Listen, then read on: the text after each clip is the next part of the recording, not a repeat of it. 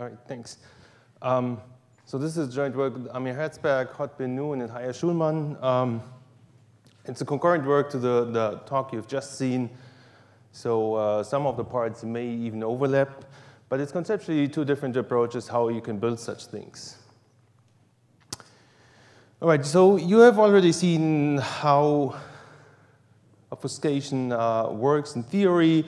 Just give me let me give you a quick reminder that um, you can find plenty of obfuscators uh, in, in the wild in practice, uh, even free obfuscators. Um, um, even through web forms. So this is an example I typed, I just found it on the internet. I just typed in a small JavaScript, uh, and this is what it produced. And it's, I think it's pretty obvious to say that um, that one is not really secure because you can see the uh, hello world here appearing clear.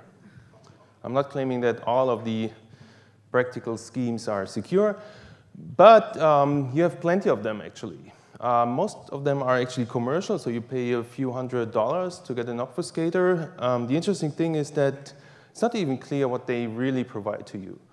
Um, this is a quote from one of the commercial software saying, obfuscators do not stop reverse engineering efforts. Uh, if you're really determined, um, they keep on also saying that we basically only provide security against amateurs.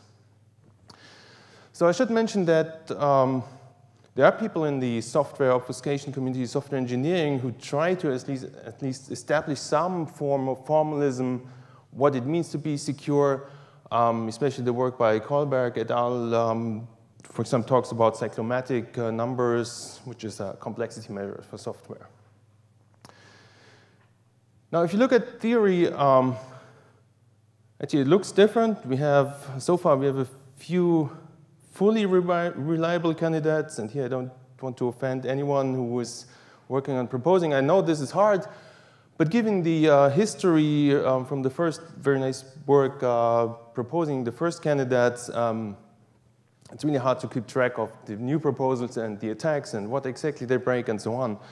And this is partly due to the fact that we have a clear vision of what kind of security we want, and um, this is usually nowadays indistinguishability, indistinguishability obfuscation, saying for any circuits um, which compute the same functions, the obfuscated versions look alike. And of course, achieving this is hard, and this is why maybe in theory, um, we don't have a fully satisfying solution yet. Now, if you compare the two worlds and you talk about practice and theory, actually um, they face seems like they face different problems, but in the end, it boils down to the same questions. Uh, which candidate should I use if I want to have a secure obfuscator? And this is where the combiners enter the stage, and you've just seen that the, the basic idea is you take n candidates, um, you don't know which of them are secure, um, take your, let's say, five favorite ones, then you combine them somehow into a single, maybe bigger obfuscator and what you want to have from the final result is, oh, here should say uh, you really want to build it constructively, so not like purely existential, saying in like in math there exists a secure obfuscator or assuming that the polynomial hierarchy collapses and so on. You really want to have a program here. Um, and so what the guarantee is, what you want is that if at least t of these uh, n obfuscators are secure, then the overall thing is secure. So in this example, if you have three t equal to 3 good ones and only two are malicious, then the overall combiner should still be secure. And here, as in the previous talk, we assume that um, all the malicious combine or the malicious candidates are under control of a single adversary and they may arbitrarily conspire. So when we started thinking about this, um, especially my co-authors or Amir was really much into, okay, we should have a solution which really works in practice. Um, and he wanted to have one which works on both sides, theory and practice. So in particular, it should be fast enough to cover maybe the bad combiner you've seen on the first slide. Okay, um, before I tell you how we do this, let me tell you how it's not going to work. And then partly, the good news is, and partly if you missed the argument in the previous talk why you can't nest obfuscator securely, you'll see a sort of rerun of this argument here. Okay, so two of the three combiners. So let's say you have three combiners, Your task is now, in theory, to build an obfuscator um, such that if you insert the x, you get uh, the circuit uh, value C of x. So um, here's what you can do. You can just take your circuit, view it as a program, run it through the obfuscators. So you get three programs, and you just put them into the circuit. And then what you do is whenever you get some access input to the obfuscated version, you just put it into all the obfuscated circuits. And then in the end, you do a majority. And the majority should exactly prevent all the trouble um, you've just seen with the incorrectness of obfuscators, because if you assume two of them are correct, then it doesn't matter if the third one just even gives you a wrong answer. As long as you do a majority, a bitwise majority, you can be sure that the output is correct. Now, the problem is this gives you functional correctness, but oops, it does not give you um, the indistinguishability property. So if you suppose that obfuscator number two is corrupt, then this obfuscator can just put anything it likes into the program here. In particular, it may just print a copy in clear of the input circuit C, and then, since this appears in clear in your obfuscated uh, circuit, you can just uh, leak information about the input circuit through that. So this is now the sequential obfuscator. Uh, we've just seen the case of three obfuscators. This is now the simpler version of two obfuscators, where you take the output of the first obfuscator, the inner one, and just insert it into the second one. And then the obfuscator is just the the description of the program, um, the output program of the second obfuscator. Now here, if obfuscator 2, the outer one, is corrupt, then you're still good in terms of leakage because you still have the inner obfuscator, which basically hides everything about the input circuit.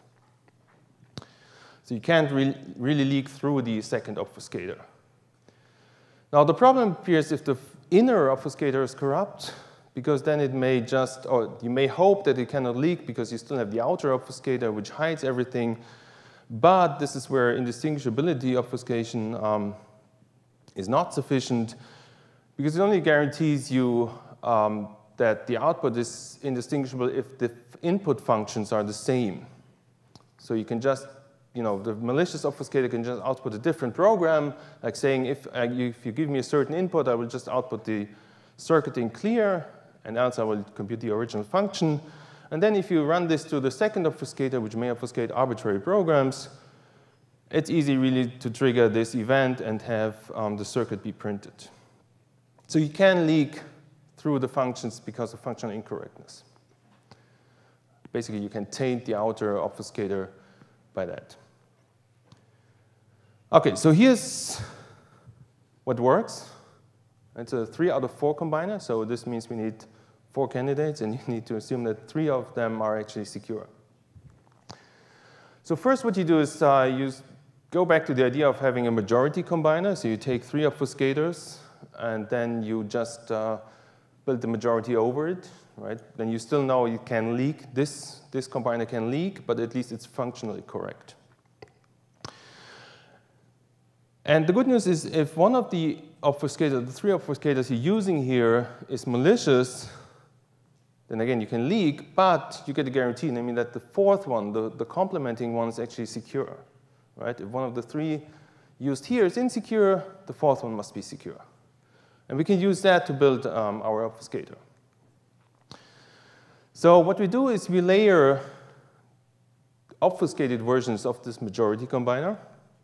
Right? So we take the majority combiner, which we've just seen, and then use the fourth obfuscator to obfuscate the output. And actually, it suffices to do it for any three combinations of the four numbers. So in this example, we have um, the outer obfuscators are 4, 3, and 2, and then you just take the complementing three numbers for the majority obfuscator. And then you do another majority on top, and we'll see in a second why this is the case. And this is your, your obfuscator. This is your combiner. That's how it works. So let's look at the case that the obfuscator number three is malicious, right? Then you still have the guarantee that the obfuscator in the majority combiner, 1, 2, and 4, are still good. Basically, they hide everything about this input circuit C at this point. So if the malicious uh, circuit, uh, if circuit, sorry, if obfuscator 3 is malicious, then it also appears in the other majority circuits. But there you still at least provide functional correctness because of the majority. And this means that the outer obfuscator, so obfuscator number 4 in this case and number 2 in this case, they basically hide everything about the input. So this means everything about the input circuit is shielded by the right choice of the uh, obfuscators. And actually, you can prove this uh, if you go back to the formal requirements. You can show that this combiner works uh, for indistinguishability, indistinguishability obfuscation and all the other stronger notions of, of, of, of obfuscation which we have there, like VBB and VGB. I should say, if you dare to even put in more candidates, you can generalize this. Instead of having three out of four, you have a 2D plus one out of 3D plus one combiners um, just doing more majorities and so on, but still staying on a layer two circuit. So we actually implemented this.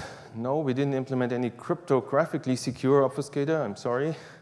We just took one of these uh, available open source obfuscators and we settled for um, JavaScript, just to have an example. Um, So um, actually, we, are two related obfuscators by Yahoo. One is more or less a randomized version. For security purposes, you should not do this. For evaluation purposes, I think it was hard enough to get the implementations running. So they are related, but this should not affect the significantly the runtime or the um, output bloat ratio. Okay, so here's an example. O1 is just a simple um, obfuscator. It's called compressor because very often in practice these obfuscators come as also code optimizers and uh, they really shrink the code. And then we just uh, used two versions, different choices of how to order the obfuscators, um, two by Yahoo and one by Google and one uh, JavaScript packer. So we ran this for a couple of standard programs ranging from a few kilobytes, so all the dots is a program more or less, to um, more or less a megabyte.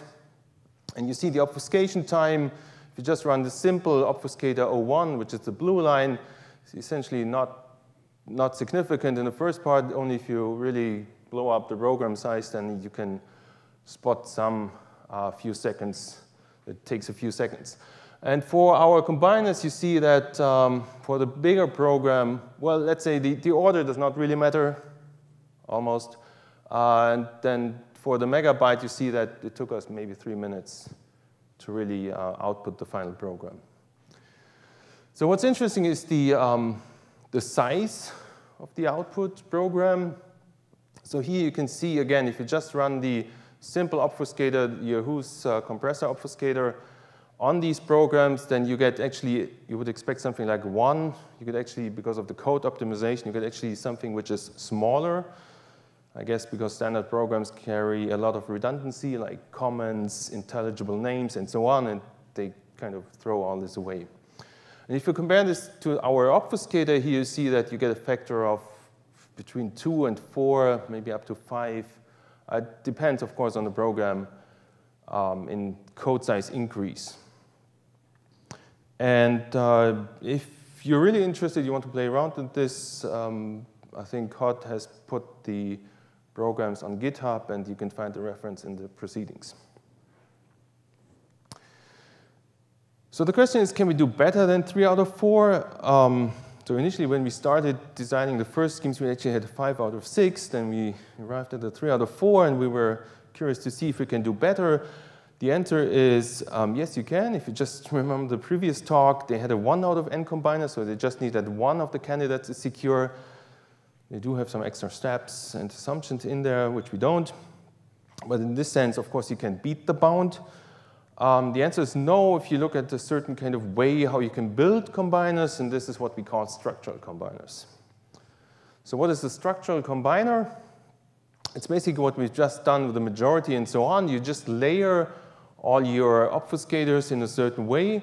And the structure, how you layer this, is actually independent of your input circuit and um, of the candidates.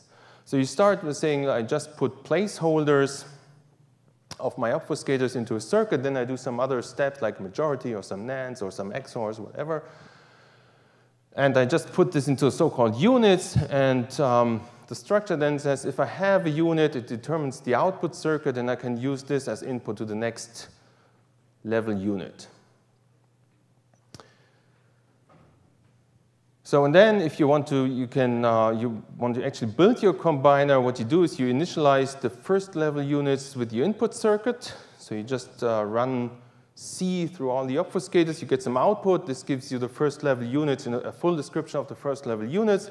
And then you can just run them um, through, the, through the obfuscators on the second level unit and so on. And recursively, you of course get then um, some output description and the actual combiner result is the, the final unit on this path. And of course, the, our combiner, three, of, three out of four combiner was structural in that sense. Okay, so let's try to do a two out of three, right? Just lower it by just one compared to our three out of four combiner. So the first thing we notice that if there exists a path on these units such that um, the same obfuscator appears in each unit, then there's no hope to get a secure one. So here's the example. Let's suppose that obfuscator number three is on this path from the first level unit to the actual output unit. And let's suppose that this combiner is malicious. Then if you initialize the combiner and on the first level units, the malicious obfuscator may just output information about C in clear. And if this is done on the first level unit, then the malicious combiner on the second level unit can more or less forward this information. So you can basically leak through the entire path. So this means there's no path where there's uh, the same obfuscator on, on, in each unit. This cannot be, or you will not get a secure one. So this means on each pass there is one unit, and we can always take the rightmost one, where there are only obfuscators number one and two. Okay, let's see, in this example, it's, it's these. It doesn't matter what's happening in the other obfuscators, or in the other units, sorry. What obfuscators are in the other units. Okay, then assume that the obfuscator number one is malicious, and it will try to confuse our combiner by just saying instead of really obfuscating something about C, it will just obfuscate something about C star. Okay, then basically our combiner doesn't really know because there are only two obfuscators. One is saying the truth, one is lying. It cannot really tell if C or C star is the actual obfuscation it should work with. If you want to do it more formally, you can go to the case that obfuscator number two is malicious, and now this time you actually wanted to obfuscate C star, but now this malicious obfuscator tells you, oh, I obfuscated C. Okay, so both look alike from you, so the combiner would have to give the same result in both cases, which means it needs to give the same result for both C and C star. And if they are different, then this cannot be a good combiner. Okay, this is why it doesn't work if you want to at least work with structural combiners to get something better. Okay, so then we thought about maybe we don't need a combiner which always works correctly and gives you functional correctness. Um, so we introduced something which we call detecting combiners. And basically they say, this is as before, if, if all candidates are secure, then you get a secure combiner which provides functional correctness and so on. Um, if you have that only t out of n combiners are secure, there may be cases where the combiner tells you, here's an error. There's something going on which is fishy, I cannot correct it but at least you should know that there's something false with that. And if you do this, then you can actually go to 2 out of 3 instead of 3 out of 4. Um, and you can also give a very similar lower bound saying that you cannot do 1 out of 2. But at least you can do a little bit better. So to conclude, let me wrap up and show again what we did. Um, I think we have a what I would consider a reasonable three out of four combiners. I know it's hard to get three secure candidates, especially in theory currently, uh, but at least in practice, maybe you have hope that you know, some of the programs are actually doing a good job. Um, we did implementations just to see how, let's say, bad it is. and surprisingly, it didn't look that bad. We were expecting some blow up in output size, for example, by a factor of, uh, because it's layered like maybe 9 or 10, but it was about 4, um, which is an increase in size. If you talk about structural combiners, things which you will nest, um, basically outputs of the obfuscators, then you cannot do any better unless you go to detecting combiners. And there you can do two out of three, um, but you cannot even go to one out of two. All right, so that uh, concludes my talk about the obfuscation combiners. Thanks.